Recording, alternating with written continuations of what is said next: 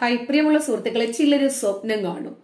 സ്വപ്നം കാണുന്നതിന് പ്രത്യേകിച്ച് ആർക്കും ടാക്സ് ഒന്നും കൊടുക്കണ്ട ഒരാൾക്കും കണക്കും കൊടുക്കണ്ട അത് അൺലിമിറ്റഡ് ആണ്. പക്ഷേ നമ്മുടെ A P J Abdul Kalam പറഞ്ഞതുപോലെ കണ്ണടച്ച് കാണുന്ന സ്വപ്നമാണോ നമുക്ക് വേണ്ടത്? അതോ A P J Abdul Kalam പറഞ്ഞ കണ്ണ് തുറന്നിരിക്കുമ്പോൾ കാണുന്ന സ്വപ്നമാണോ? അതാണ്. അവിടെയാണ് നമ്മൾ ചിന്തിക്കേണ്ടുന്ന വസ്തുത. ഇങ്ങനെ അൺലിമിറ്റഡ് ആയിട്ട് സ്വപ്നം കാണുന്ന ഒരു വ്യക്തി പറയുന്നു ഹിജാബ് ധരിച്ച ഒരു പെണ്ണ് ഇന്ത്യയുടെ പ്രധാനമന്ത്രിയായി വരും.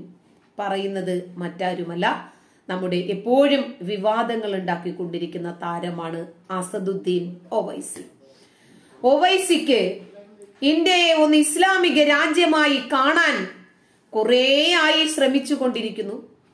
ആഗ്രഹിക്കുന്നു സ്വപ്നം കാണുന്നു അനുയായികളെ അതിനുവേണ്ടി പ്രേരിപ്പിക്കുന്നു ഒക്കെ ചെയ്യുന്നുണ്ട്. പക്ഷേ രണ്ടായിരത്തി നാൽപ്പത്തി ഏഴോടുകൂടി ആ സ്വപ്നം പോപ്പുലർ ഫ്രണ്ട് ഓഫ് ഇന്ത്യ എന്ന് പറയുന്ന തീവ്രവാദ സംഘടന സാക്ഷാത്കരിക്കുമെന്ന് വിചാരിച്ചു. അവിടെയും പണി കിട്ടി. നടന്നില്ല എന്ന് മാത്രമല്ല അവരൊക്കെ അകത്താകുകയും ചെയ്തു. എന്നാൽ പുതിയൊരു സംഘടന രൂപീകരിക്കാമെന്ന് വിചാരിച്ചാൽ ദേശീയ നേതാക്കളൊക്കെ അകത്തായി. ജില്ലാ നേതാക്കളും ഒക്കെ അകത്തായി. കേരളത്തിലായിരുന്നെങ്കിൽ ഏതെങ്കിലും പഴുതുപയോഗിച്ചിട്ട് നമുക്ക് ഇറക്കി കൊണ്ടുവരാമായിരുന്നു. ഇതിപ്പോ എൻ ഐ എ ആണ് കൊണ്ടുപോയിരിക്കുന്നത്. കൊണ്ടുപോയത് ഫ്ലൈറ്റ് മാർഗം ഡൽഹിയിലാണ്.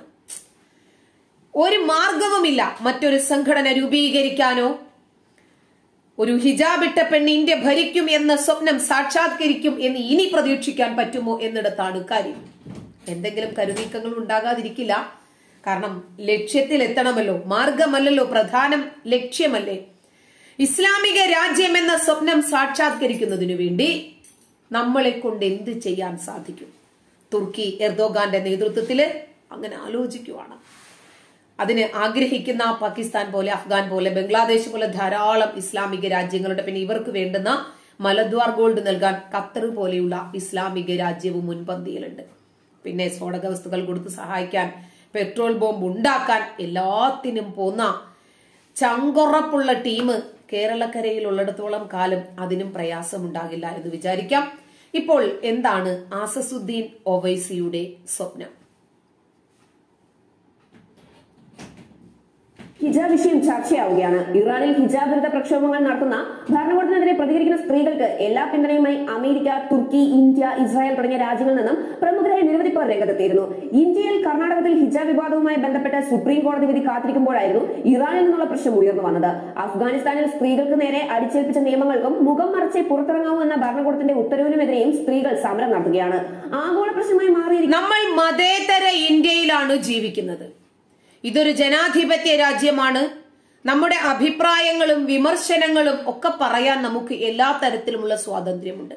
മതമുള്ളവർക്ക് അത് വിശ്വസിക്കാനും പ്രചരിപ്പിക്കാനും ഫോളോ ചെയ്യാനും മതമില്ലാത്തവർക്ക് അവരുടെ ആശയം പ്രചരിപ്പിക്കാനും ഫോളോ ചെയ്യാൻ എല്ലാത്തിനുമുള്ള സ്വാതന്ത്ര്യം ഈ മതേതര ഇന്ത്യയിലുണ്ട്. ഈ ഇന്ത്യയിൽ ജീവിക്കുന്ന നമുക്ക് ഇറാനിലെ സ്ത്രീകൾ അനുഭവിക്കുന്ന മനുഷ്യാവകാശങ്ങളെ കുറിച്ച് അറിയണമെന്നില്ല. അഫ്ഗാനിലെ പെൺകുട്ടികൾ അനുഭവിക്കുന്ന വിദ്യാഭ്യാസ നിഷേധങ്ങളെ കുറിച്ച് അറിയണമെന്നില്ല. പാകിസ്ഥാനിലെ ന്യൂനപക്ഷങ്ങൾ അനുഭവിക്കുന്ന ജീവന് വേണ്ടിയുള്ള നിലനിൽപ്പിന് വേണ്ടിയുള്ള സമരത്തിന്റെ വേദനകൾ അറിയണമെന്ന് യാതൊരു നിർബന്ധവുമില്ല. അതുകൊണ്ട് തന്നെ ഹിജാബൂരി എറിഞ്ഞ് ഇറാനിൽ മനുഷ്യനായി ജീവിച്ചാൽ മതി ഞങ്ങൾക്ക്. ഞങ്ങൾക്ക് മനുഷ്യനായാൽ മതി ഞങ്ങൾക്ക് ഈ മതം വേണ്ടേ വേണ്ട. നൂറ്റാണ്ടുകളായി ഞങ്ങളെ അടിമത്വത്തിന്റെ കറുത്ത കുപ്പായത്തിൽ തളച്ചിട്ടിരിക്കുന്ന ഈ മതം ഞങ്ങൾക്ക് വേണ്ട. ഈ മതനിയമം ഞങ്ങൾക്ക് വേണ്ട. ഖുർആാനിന്റെ പേജുകളാണ് കീറിയെറിഞ്ഞ് ഹിജാബിനോടൊപ്പം മുസ്ലിം സ്ത്രീകൾ കത്തിച്ച് തെരുവിലിറങ്ങുന്നത്. ഒരു കഷ്ണം തുണി കണ്ടതിന്റെ പേരിലാണോ ഞങ്ങളുടെ സഹോദരിയെ നിങ്ങളുടെ പോലീസിംഗ് നടത്തി? സദാചാര പോലീസിംഗ് എന്തൊക്കെയാണ് ചെയ്തത്? അടിച്ചും ഇടിച്ചും ചവിട്ടിയും ക്രൂരമായി ആ പെൺകുട്ടിയെ കോമയിലാക്കി മൂക്ക് മുറിച്ചു കൊന്നുകളഞ്ഞു. അതിന്റെ പ്രതിഷേധവുമായി നാളത്തെ മഹസാമിനിമാർ നമ്മളിൽ ഓരോരുത്തരായി തീരാതിരിക്കാൻ മനുഷ്യാവകാശത്തിന് വേണ്ടിയുള്ള സമരമുഖത്താണ് ഇറാൻ സ്ത്രീകൾ. അവർ മുഴുവൻ വസ്ത്രവും ഊരിയെറിഞ്ഞിട്ട് നിങ്ങൾക്ക് ഞങ്ങളെ കൊല്ലണോ? കൊന്നു? അങ്ങനെ കൊമൈനിയുടെ ചിത്രവുമൊക്കെ ആയിട്ടാണ് അവർ പൊതുനിരത്തിൽ ഇറങ്ങിയിരിക്കുന്നത് ഒരു രാക്ഷസ രൂപം ശരിയാണ് രാക്ഷസ രൂപം തന്നെയാണ്. മതനിയമം ഒരാളിൽ അടിച്ചേൽപ്പിക്കേണ്ടതല്ലോ അവർ സ്വയം അള്ളാഹുവിന്റെ കൽപ്പനയാണ് എന്ന് കരുതി നിർവഹിക്കേണ്ടതല്ലേ? അപ്പോഴല്ലേ അതിനൊരു ജെന്യൂനിറ്റി വരൂ. മറ്റത് നിർബന്ധിച്ച് അടിച്ചേൽപ്പിക്കുമ്പോൾ ഞെക്കിപ്പഴിപ്പിക്കുന്നത് മധുരമുണ്ടാകില്ലല്ലോ അത് ആരോട് പറയാം? ഇവർക്കെങ്ങാണ്ട് മനസ്സിലാകുന്നു ശരി. അങ്ങനെ ഇരിക്കുമ്പോൾ ഈ മതേതര ഭാരതത്തിൽ കർണാടകത്തിൽ കേരളത്തിൽ ഉടനെ തന്നെ വരും കേട്ടാ സംശയമൊന്നുമില്ല. മുഖം മറയ്ക്കണം. ഐഡന്റിറ്റി മറയ്ക്കുന്ന ഹിജാബിനു വേണ്ടിയുള്ള സമരമുഖത്താണ് ഒരുപാട് വിദ്യാർത്ഥിനികൾ. ഇവരെ കോടിക്കണക്കിന് പണമിറക്കി ഈ സമരം ഇത്രയും കൊഴുപ്പിച്ചതിന് പിന്നിൽ പോപ്പുലർ ഫ്രണ്ട് ഓഫ് ഇന്ത്യയാണ് എന്ന് എൻ ഐ എ കണ്ടെത്തിയിട്ടുമുണ്ടായിരുന്നു. അതിന്റെ കോടതി വിധി വരാൻ കാത്തിരിക്കെ ഇറാനിലെ പ്രക്ഷോഭത്തിന് അമേരിക്കയും തുർക്കിയും ഇന്ത്യയും ഒക്കെ അവിടെയുള്ള മനുഷ്യനായി ജീവിക്കാനുള്ള സ്ത്രീകളുടെ സ്വാതന്ത്ര്യത്തിന് വേണ്ടിയുള്ള പോരാട്ടത്തിന് ഐക്യദാർഢ്യം പ്രഖ്യാപിച്ചിരിക്കുന്ന ഈ സാഹചര്യത്തിൽ വേണം അസദുദ്ദീൻ ഒവൈസിയുടെ ഈ ഒരു സ്റ്റേറ്റ്മെന്റ് കൂടി ചേർത്ത് വായിക്കാൻ.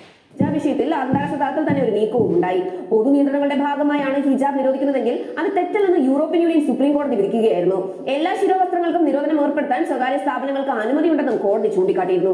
ശിരോവസ്ത്രം ശിരോവസ്ത്രം നിരോധിക്കപ്പെടണം. ഒരു ഡോക്ടറിന് രോഗിയെ തിരിച്ചറിയണം അധ്യാപകന് വിദ്യാർത്ഥിയെ തിരിച്ചറിയണം. എക്സാം എഴുതുന്ന വിദ്യാർത്ഥിയെ ഹാൾ ടിക്കറ്റിലുള്ള ആൾ തന്നെയാണോ എന്ന് ഐഡന്റിഫൈ ചെയ്യാൻ എക്സാമിനർക്ക് കഴിയണം. അതല്ലാതെ പ്രൊഫസർക്ക് വേണമെങ്കിലും വന്ന് ആകെ മൂടി എഴുതാമല്ലോ. പെണ്ണിന് ആൺവേഷം കെട്ടിയും എഴുതാം ആണിന് പെൺവേഷം കെട്ടിയും എഴുതാമല്ലോ എക്സാം. ഇത് എവിടത്തെ നിയമമാണ്? ഇത് അംഗീകരിക്കാൻ പറ്റില്ല. ഐഡന്റിറ്റി മറയ്ക്കുന്ന വ്യക്തിത്വം മറയ്ക്കുന്ന ആ ഒരു വേഷത്തെ ഒരിക്കലും നമുക്ക് അംഗീകരിക്കാൻ പറ്റില്ല. ഖുർആൻ തന്നെ പറയുന്നത് ലി തഹറഫ് നിങ്ങളെ പരസ്പരം തിരിച്ചറിയുന്നതിനു വേണ്ടിയാണ് പല ഗോത്രങ്ങളും ഉണ്ടാക്കിയെന്ന. അതുകൊണ്ട് മനുഷ്യന്റെ മുൻകൈയും മുഖവും ഒഴികെയുള്ള ഭാഗങ്ങൾ പുറത്ത് കാണേണ്ടതാണ് പുറത്ത് കാണരുത്. മുൻകൈയും മുഖവും പുറത്ത് കാണണം. അത് ഒഴികെയുള്ള ഭാഗങ്ങളാണ് മൂടേണ്ടത് എന്ന് ഹദീസുകളിൽ നിന്ന് ലഭിക്കും. ഓക്കെ മതത്തിന്റെ പേരുള്ള വിവേചനമായി കണക്കാക്കാനാവില്ലെന്നും യൂറോപ്യൻ യൂണിയൻ സുപ്രീം കോടതി വിധിച്ചിരുന്നു. ഇന്ത്യയിൽ ഹിജാബ് വിഷയത്തിൽ ഒരു തീരുമാനം ഇതുവരെ ആയിട്ടില്ല. സുപ്രീം കോടതി ജഡ്ജിമാർ ഭിന്നവിധി പ്രഖ്യാപിച്ചതിന് പിന്നാലെ വിശാല ബെഞ്ചിന് മുന്നിൽ എത്തുകയാണ് ഹിജാബ് പ്രശ്നം. അതിനിടയിൽ ഹിജാബുമായി ബന്ധപ്പെട്ട പലവിധ പരാമർശങ്ങളാണ് എ എം ഐ എം നേതാവ് അസുദ്ദീൻ ഒവൈസി നടത്തുന്നത്. ഹിജാബ് ധരിച്ച ഒരു മുസ്ലിം സ്ത്രീ ഇന്ത്യയുടെ പ്രധാനമന്ത്രി ആയിരിക്കും എന്ന് പറഞ്ഞിരിക്കുകയാണ് എ എം ഐ എന്ത് നടക്കാത്ത സ്വപ്നമാണെന്ന് നോക്കിക്കേ. അപ്പോഴും ഇവരുടെയൊക്കെ കണ്ണുകൾ എവിടേക്കാണ്?